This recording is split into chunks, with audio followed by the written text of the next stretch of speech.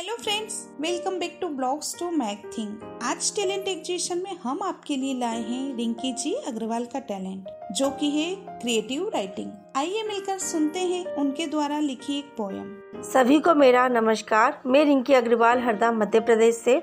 आज मैं आपके सामने एक कविता सुनाने जा रही हूँ। ये कविता मैंने खुद लिखी है अपनी बेटी एनी के लिए। मेरी बेटी का जन्म करवा चौथ की शाम को हुआ है।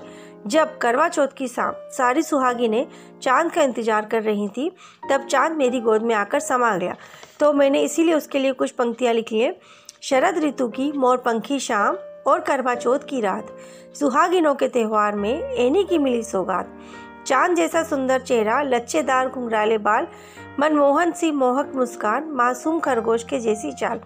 बालपन की अद्भुत मुद्राएँ, सौम्यता भरी चुलबुल, संस्कार विद्यापीठ की संस्कारी बाला, हमारी नन्ही बुलबुल। गदगद हुए हम पाकर इसको, इसके लिए ही है सब तैयारी। हर पल जीतती रही है ये, अब जीतने की हमारी है बारी। हर प्रतियोगिता में अब्बल रही हमारी बिटिया रानी।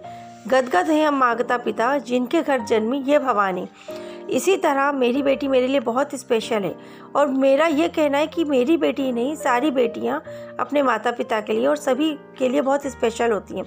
पर पता नहीं क्यों, उसके बाद भी आज भी बेटी हत्या बंद नहीं हो रही है। तो मैं यही कहना चाहूँगी कि बाहर सुरक्षित नहीं, घर में सुरक्षित नहीं, और अब तो गर्भ में भी सुरक्षित नहीं रही बेटियाँ, जबकि हम सब जानते हैं कि बेटों को भी जन्म देती हैं ये बेटियाँ। बेटी नहीं होगी तो बहू कहाँ से लाओगे? और अकेले बेटे से तुम कैसे वंश बढ़ाओगे? और अकेले बेटे से तुम कैसे वंश बढ़ाओगे? और अंतिम दो पंक्तियों के माध्यम से मैं भगवान से बस यही प्रार्थना करना चाहूँगी कि जो अब किए हो दाता, ऐसा ही कीजो जो अब किए हो दाता, ऐसा ही कीजो अगले जन्म मोहे बिटिया ही कीजो और अगले जन्म मोहे बिटिया ही दीजो अगले जन्म मोहे बिटिया ही दीजो धन्यवाद। तो फ्रेंड्स आपको टैलेंट कैसा लगा? हमें कमेंट में लिखकर बताइए। और पसंद आए तो वीडियो को लाइक करें और चैनल को सब्सक्राइब करें। Thank you